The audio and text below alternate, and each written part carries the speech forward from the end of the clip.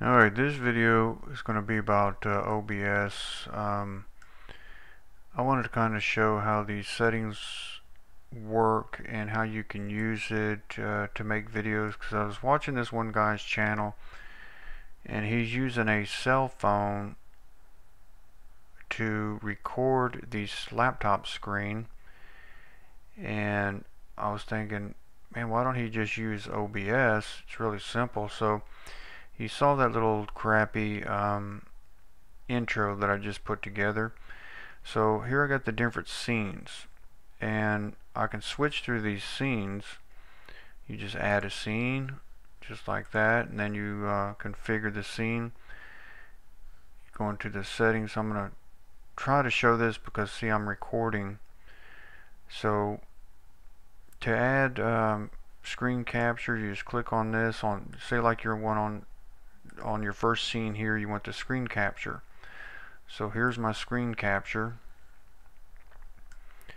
And I'd come over here to the plus and I pick uh, screen capture.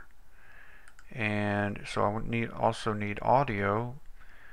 So no this is the audio. So here's my screen capture. Then I add the audio. You can add audio in here but if you're going to use different scenes um, it's not really going to switch with off if you needed to switch off with that scene. It'll keep running. So if you want to use scenes select the audio from here. So here I selected my audio input and you just got to find yours you know to your mic. Set your mic up on your sound. And then you come in here and hotkeys so I got mine start on Alt C that's going to start the recording and also have it when it starts the recording it's also going to start scene 1 so when I start you that scene 1 you've seen at the beginning is going to is going to start with Alt C. Then I have seen my scene that you're seeing now, the screen capture on Alt Z. So when I switch to Alt Z, that's what you're watching now with my sound. So you see I'll have my sound in here. And on this one I don't have no sound, I just have that uh, intro that you saw. And then on scene 2, which is Alt A, I switch to Alt A to end the video. I'll you know I'll say okay that's it and then I hit alt A it'll put my ending intro and then I can push alt X to kill it out. So there's all my key commands. That's how I have it set up. And I threw that little intro together real quick just to show you. And so now if I go back to if I hit alt and A it'll go to the end uh, intro. And let's see how it works. So now I'm back on Alt Z, so there's the end intro, and if I hit uh, the other one right now, it probably will stop the recording. But uh, once you got the scene intro in here for your scenes, you just come up here and media source, click on the media source, and then you can open up your media whatever your little intro is just browse through your uh, wherever you got your little media video the intro just click on that and there's all the kind of file types it'll select. And then uh, it'll say restart playback when source becomes active. And so that's just the way I have it right there. And when that uh, when I click to um, you click on that scene it becomes active and it starts playing the uh, little scene. I mean is that is that easy. So when I go uh, when I first fire this thing up I make sure it's on uh, like scene 2 so and then when I hit alt and C it's going to go to scene 1 which is my beginning intro. And let me see if I can switch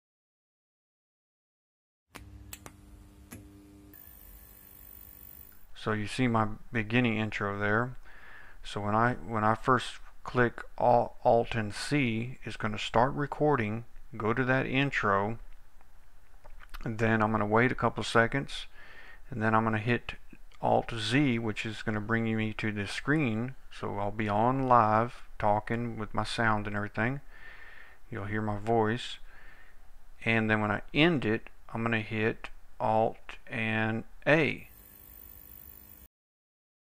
so that'll be my end intro and those are just two little intros that I threw together just to make this video.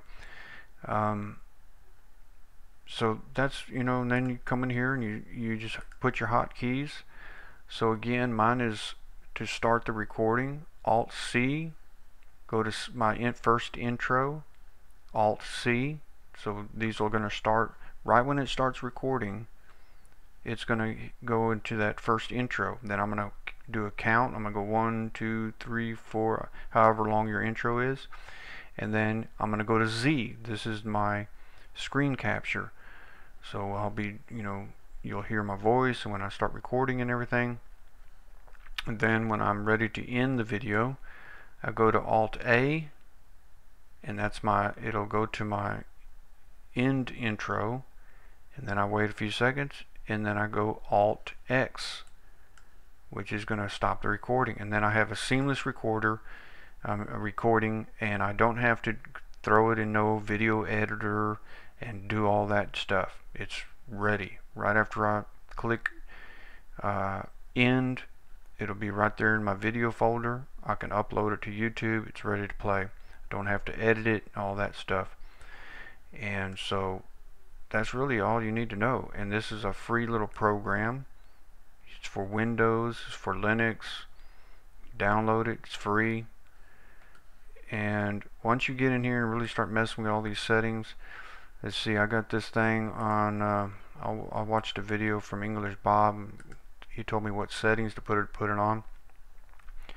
Um, video bitrate I got it on 15 uh, just to make the size a little smaller the encoder on that X264 and then I've got it on the recording format MP4 and down here it's uh, you can't switch it now but uh, when it's not recording this one right here MP4 I mean you can leave it on 25 the default was 25 but just to make the uh, size of the uh, video a little bit smaller you know quicker to upload and these settings here I got it on 1280 uh, by 720 the output resolution. Let me see if I can scroll in on that.